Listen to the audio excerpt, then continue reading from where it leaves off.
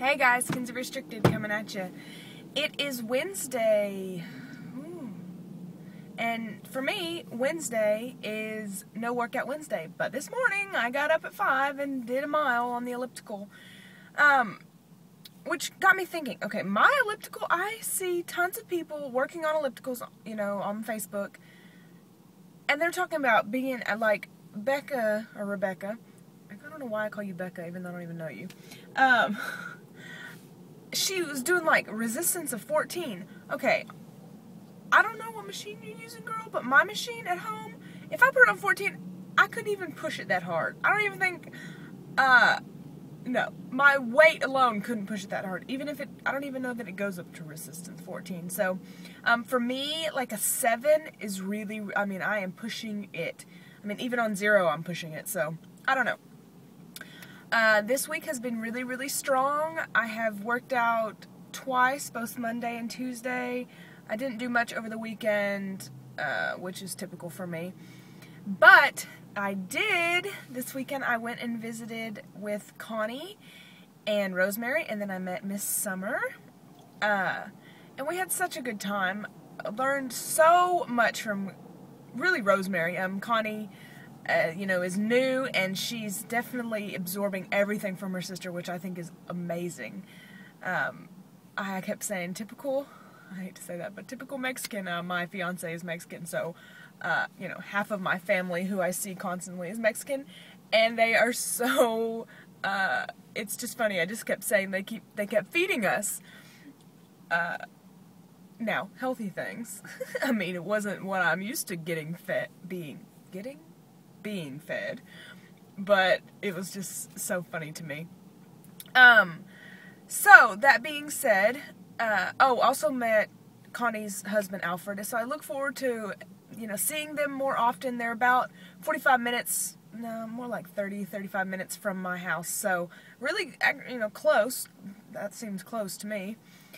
Uh, and Miss Summer lives about 15 to 20 minutes away. So my GPS took me a weird way to get to her house, which I won't go again. But um, I've been making really strong, strong choices this week, feeling very, very motivated, and um, I oh my gosh, yesterday. So for the first time ever in my life, did a little rain dance yesterday. I was sweating my butt off. Um, I really, really pushed myself yesterday to uh, work out harder than I ever have. And I also I have a TV in the room that my elliptical's in, but I've never like turned it on while I was working out. And I did yesterday, and I think it really really helped. Um, I put the volume, of course, on mute and just put the caption on, and I was watching The Biggest Loser uh, that I have recorded on my DVR, and I was listening to my iPod. My iPod. I wasn't listening to my phone.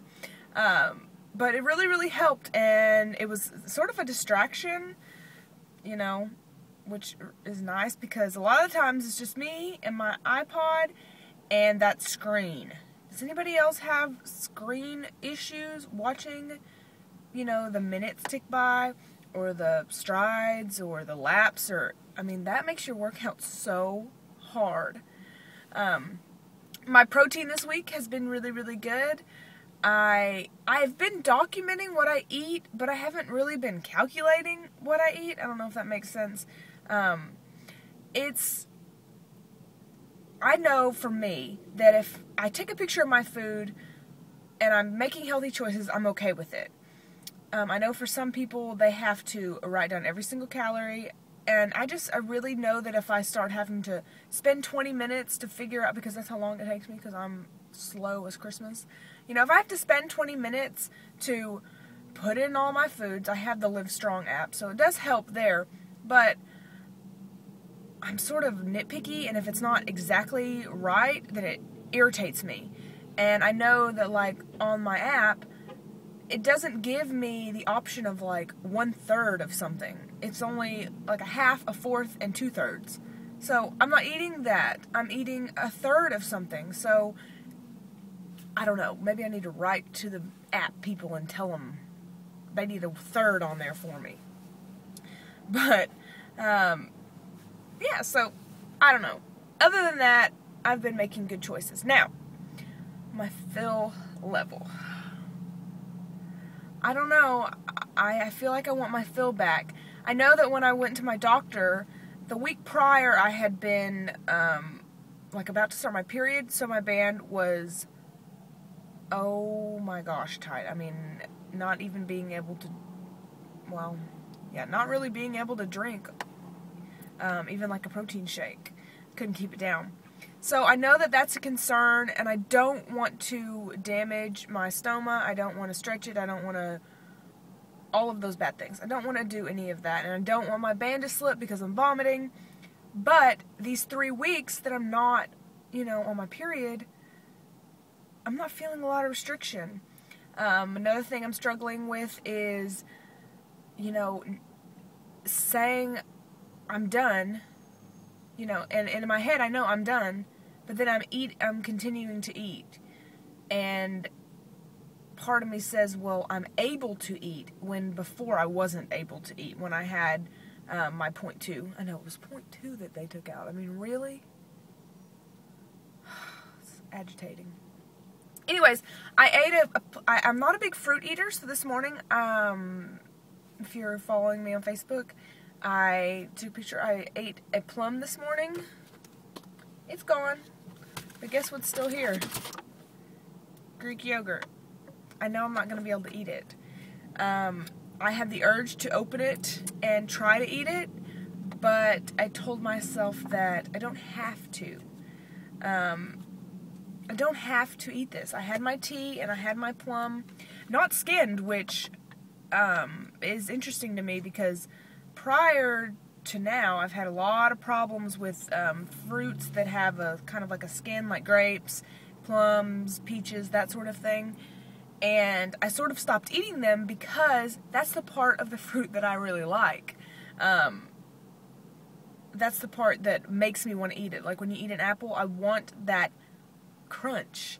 And it's not even the crunch of the inside that's crunchy, it's the the skin. I don't know y'all eat. You know what I'm talking about. Um, anyway, so I might try to eat this yogurt later. I might not. Um, I haven't tried these Chobani, Chobani. I haven't tried any of these yet, but I love. I had a pomegranate yogurt when I was on vacation. Vacation when we went shopping, and it was by Yoplait, I believe, and this um, is actually, you know, like a billion times better than the one I had. So I'm excited about that. Um, another thing, I know this is like a million things in one because I haven't made a video in forever, so I'm rambling. But lap banders, carbs. I don't remember ever being told how many carbs I was to have in a day. I mean, I'm looking at this, and just this alone has 21 carbohydrates in it. So where, I mean, what's the deal with carbs, people? Um, I know um, bypass people, you know, sleeve people are saying less than 20 in a day. Well, here's 20 plus. So, lap banders, let me know. Um, what's your doctor saying? And I'll definitely be asking my doctor. Oh, and tonight I am, usually I go to a Bible study on Wednesdays. That's like my thing. But tonight I'm going to go to my first ever support group meeting. Um, it's being held at True Results um, in Richardson. So if you go, let me know. I mean, if you're out there, I'd love to meet you there.